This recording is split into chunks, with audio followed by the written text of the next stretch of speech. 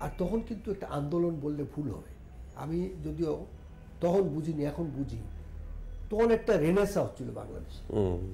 তো সেই যে অগ্রযাত্রা হচ্ছিল এটা গবেষণা করলে দেখা যাবে যে ভালো ভালো মুভি জরিয়ান এদের মতো লোক তো এখন আর দেখিনি।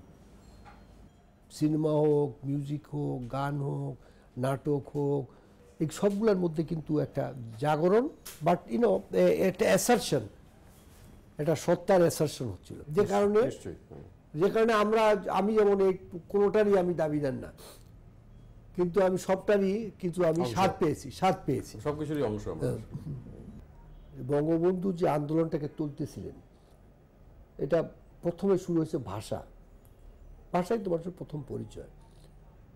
তারপরে তার শিক্ষা সংস্কৃতি ঐতিহ্য তারপরে পলিটিক্যাল নর্ম যেগুলো অর্থনীতি, এগুলো আমি মনে করি যে come in the third order ভাষা ফার্স্ট অর্ডারে সেকেন্ডে আসে আমার সত্তা আমার সংস্কৃতি আমার ঐতিহ্য আমার পরিচয়।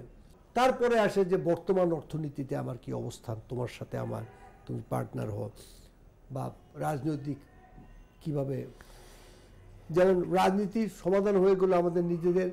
বর্তমানে যেমন প্রশ্ন আসে যে ভাষাকে লালন করার প্রশ্ন এখনও আবার এসছে। সংস্কৃতিকে লালন করার প্রশ্ন এখনও আবার এসছে। নিশ্চয়ই। হ্যাঁ কিন্তু এই সত্তার আবহাওয়ার একটা সত্তার যেটা সেটার একটা দায়িত্ববোধ বা তার একটা লালন এটা সবসময়। এবং সেটার সচেতনতা তার প্রতি উপলব্ধিটা এই সময় মনে করি আমার অন্তত মনে হয়েছে যে সবচেয়ে বেশি এই আন্দোলনের যারা রাজনৈতিকভাবে সম্পৃক্ত না তাদের মধ্যে এটা হয়েছিল। ইতিহাস সৃষ্টির সময় বিভিন্ন সময় ইতিহাসে এই কিছু মানুষ আবির্ভাব হয়। যারা হয়তো একটা ইতিহাসের একটা থিমকে তারা নিয়ে যান সামনে। অবশ্যই। এবং আমি মনে করি যে বঙ্গবন্ধু ওই সময় ওনার আবির্ভাবটা ছিল। বাংলাদেশের ইতিহাসের সত্তার যে থিমটা যেটা স্বাধীনতা is one part of that theme কিন্তু আমাদের আত্মবিশ্বাস, আমাদের জীবনের উপলব্ধি, আমাদের অগ্রগতি, এটা পার্ট অফ আর থিম ওই থিমটাকে উনি সফলভাবে ওই সময়কার জেনারেশনের মধ্যে গেঁথে দিয়েছিলেন। দফিক ভাই, আমরা এখানে একটা ছোট্ট বিরতি নেব, তারপরে আবার কথা শুরু করব। সুধী দর্শক, আমরা এখন একটা বিরতিতে আছি। বিরতির পরে এসে আমরা আবার আমাদের প্রসঙ্গে ফিরে যাব।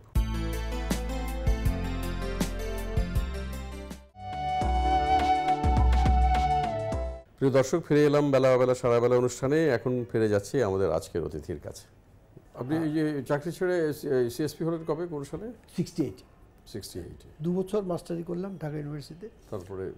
আমার আবার দু বছরের মধ্যে আমার ছাত্রটাত্র অনেক বড় বড় ছাত্র আছে কিন্তু। আচ্ছা। যেমন বাংলাদেশ ব্যাংকের গভর্নর আমার ছাত্র আতিয়ার আচ্ছা। ওয়াহিদুদ্দিন মাহমুদ অ্যাডভাইজার আমার ছাত্র। এখনকার বর্তমান মন্ত্রী আনিস পানি সম্পদ মন্ত্রী আনিস আমার ছাত্র। তো এরকম আমার বেশ কারণ আমাদের তো অল্প ডিফারেন্সে আমরা আর আমি ওই তখন হঠাৎ করে একটা গ্যাপ হয়ে গেছে আনিসুর রহমান সাহেব ওনারা চলে গেছেন। তো আমাকে নূতন লেকচারার হয়ে আমাকে থার্ড ইয়ারের স্টুডেন্টদের পড়াচ্ছিল। আচ্ছা। তারা তো মাত্র আমার তিন বছরে আমার চেয়ে জুনিয়র তিন চার বছর। সুতরাং হ্যাঁ, তারা পরে তারা আমাদের চেয়ে আমার চেয়ে অনেক আরও প্রথিত প্রথিতযশা অর্থনীতিবিদ আর অনেক কিছু হয়েছে। হ্যাঁ, এবং ঢা- যেটা ঢাকা ইউনিভার্সিটির যেটা শিক্ষা ছিল সুতিকাগার যে বলা হয় ঢাকা ইউনিভার্সিটি এটা বিভিন্ন কারণে। এখন যেটা আমি যেটা জিনিসের মনে অভাব বোধ করি হয়তো আমি না জানার জন্য হতে পারি যে একটা ইউনিভার্সিটি মানুষের মনের ক্রিয়েটিভিটি এটাকে যদি নার্চার না করতে পারে ইনোভেশন সে মানে ঢুকলাম পড়ে বের হয়ে হ্যাঁ, গেলাম। না। অন্তত তার মনে একটা জিজ্ঞাসা নিয়ে যেন বের হয়ে যায়। যেমন আমি পরে আমার সৌভাগ্য হয়েছিল হার্ভার্ড ইউনিভার্সিটিতে পড়া। আমাকে যদি কেউ জিজ্ঞাসা করে যে তুমি কি মনে করো ওখানকার লেসনের মধ্যে একটা সাধ- সাধারণ লেসন? তাই বলব যে এটা একটা জিনিস শিখাইছে যে there is no stupid question পৃথিবীতে কোনো কোয়েশ্চেন স্টুপিড কোয়েশ্চেন না। You can ask any question to anybody because কারও কাছে কোনো কিছুর পুরো উত্তর নাই।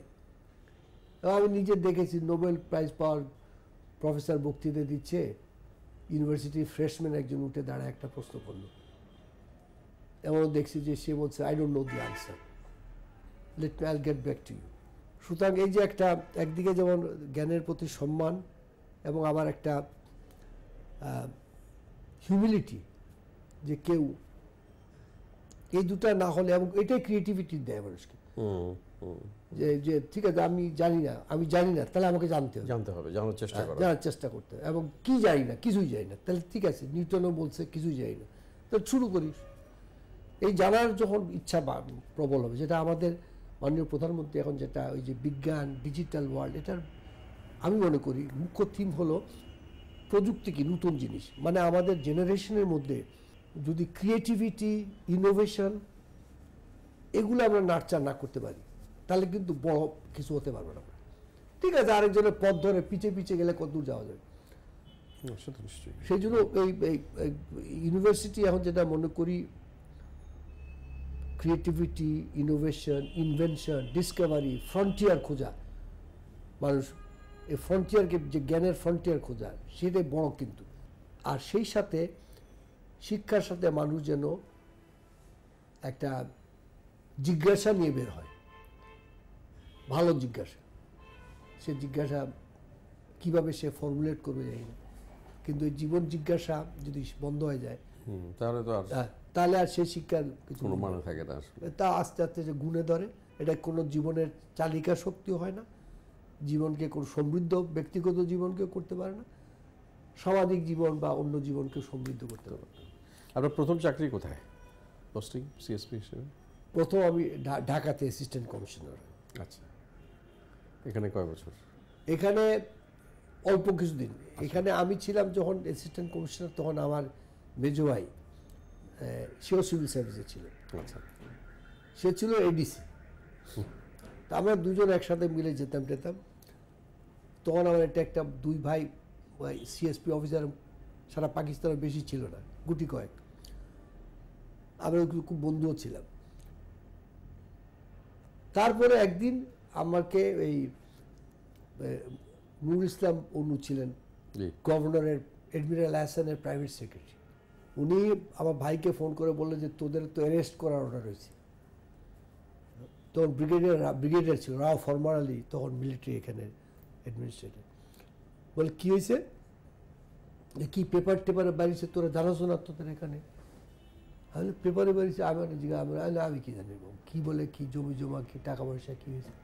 বলে ভাই, আমি তো আমি আমি তো থার্ড ক্লাস ম্যাজিস্ট্রেট তো। হয়েছে কি, একজন, পরে জানলাম, একজনের জমির টাকা পাওনা ছিল। সে ভদ্রমহিলার আইনে কোর্টে এক জায়গায়, আইনে একদল মিলেছে, এই সেই ভদ্রমহিলা। সে ছিল আমার কোর্ট, আমি থার্ড ক্লাস ম্যাজিস্ট্রেট আমার যা লেখা আছে আমি সই করছি, কিন্তু ভাগ্য ভালো, আমার যে পেশকার ছিল ইট ওয়াজ বেটার দেন মি সে দেখি আমি পরে যখন কাগজপত্র দেখি প্রথম লেখছে, অমুক উকিলে এসে পরিচয় করল। পেশকাররা লেখতো আমরা সই করতে পারি। বড় সাহেব কী যেত? "আচ্ছা, ঠিক আছে কিন্তু থানায় আবার একটা ইন্সপেকশন লাগবে। থানা রিপোর্ট লাগবে। তো ওরা বোধহয় থানা থেকে রিপোর্ট আনছে। তো থানা থেকে রিপোর্ট আনছে আচ্ছা তা আমি সই করে দিচ্ছি আইডেন্টিফাইড হলো। ওটা ছিল ভুয়া।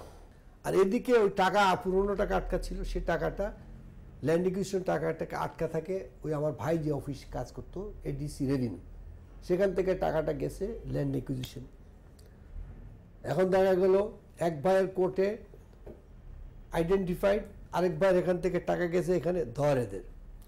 তখন আমি আসছে চিফ সেক্রেটারি ছিলেন সবুজ সাহেব। উনি বললেন যে, দেখেন আমার অফিসার তার কি করল, না করল, খবরের কাগজে একটা নোটিশ প্যারিল অ্যারেস্ট ম্যারেস্ট করা, এটা ঠিক না। আমি এদের বদলি করে দেই, তারপরে আমরা ইনকোয়ারি করব, কী হয় দেখা সো ওই আট, নয় মাস থাকার পরে আমি আই ওয়াজ থ্রোন আমি বাঙালিদের মধ্যে সিভিল সার্ভিসে প্রথম ছিলাম। আচ্ছা। সেই জন্য ঢাকায় পেয়েছিলাম। আমার দিনাজপুর আর আমার ভাইকে পাঠানো হলো রাজশাহী। সে রাজশাহী এনডিসি আর আমি দিনাজপুরের অ্যাসিস্ট্যান্ট কমিশনার পরে মনে আছে যখন আমার কাছে ব্যাখ্যা চাওয়া হলো যে তুমি যে এটা কী করছ তা আমি ব্যাখ্যা লেখলাম টেখলাম এবং এই ফখরুদ্দিন সাহেব যে এখানে চিফ অ্যাডভাইজার হয়েছিলেন এই কেয়ারটেকার গভর্নমেন্টের সময় উনি তখন ডেপুটি সেক্রেটারি ছিলেন এস এন জিএ বলা হতো। তা আমার কাছে আসলো আমি লিখলাম যে আমি এরকম উ- উকিল এসে আইডেন্টিফাই করছে পুলিশ এসে রিপোর্ট দিছে। আমি এইভাবে কাজ করছি আমি আবার করতে দিলে আমি এইভাবে করব এবং আমার অন্য কেউ এর চেয়ে ভালোভাবে এটা করতে পারে কিনা আমাকে দেখাক। দিয়া that was scrapped. It was a punishment for me Dinajpur. And punishment হলো যেহেতু আমি এটা পার পেয়ে গেলাম যারা আমাদের যাই না হয়তো কারও ইগোতে লাগছে। বলে বেটা তুই এইসব বললাম তো পার পেয়ে গেলি। তখন যখন আমার এসডিও হওয়ার টাইম হলো তাহলে আমি যেহেতু প্রথম আমি এসডিও হতে হবে Narayanganj Brahmanbaria important important submission আবার করল মেহেরপুরের এসডিও এবং যেদিন আমি যাচ্ছি মেহেরপুরে আমাকে আমার এই ইলেকশন কমিশনের এক বন্ধু ছিল আমার বড় বোনের। সে বলল ছোট ভাই তুমি তো এসডিও হইলা তো এটা তুমি তো সিও ডেভ একটু বা সুপিরিয়র বলে কেন? বলে দুই থানার এসডিও এটা একটা পানিশমেন্ট পোস্টিং এর মধ্যে দিল আর কি। Punishment it was meant to be a punishment posting সবচেয়ে কর্নারে কেউ কোনো খবর রাখতো না সেখানে। সে মেহেরপুরে কোনো একটা ট্রাঙ্কেটেড মেহেরপুর আসলে আগে নদিয়ার পার্ট ছিল। তখন নদিয়া মিলে মেহেরপুর ওয়াজ বিগ ডিস্ট্রিক্ট।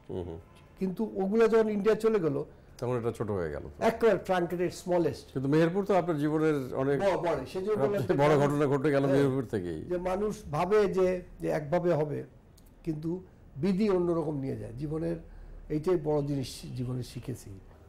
আজকে আমাদের হাতে আর সময় নেই। আমরা আজকে এখানেই আপাতত শেষ করি। আমরা আমাদের মনে হয় আরেকটি পর্ব লাগবে আমাদের বাকি কথাগুলো শোনার জন্য। শুধু দর্শক, আমরা আজকে এখানেই শেষ করছি। কারণ তৌফিক এলাহি চৌধুরী, বীর বিক্রম, তিনি তার জীবনে তার অনেক অর্জন আছে, অনেক ঘটনা আছে, যেগুলো আমরা শুনতে আগ্রহী। বিশেষ করে আমরা এখনও মুক্তিযুদ্ধে প্রবেশ করিনি এবং তার পরবর্তী পরবর্তী সময় তো আছেই। তো আজকে আমরা এখানেই শেষ করছি। আমরা বাকি অংশটি শুনে নেব আগামী পর্বে। আপনারা সবাই ভালো থাকবেন। সবাইকে ধন্যবাদ।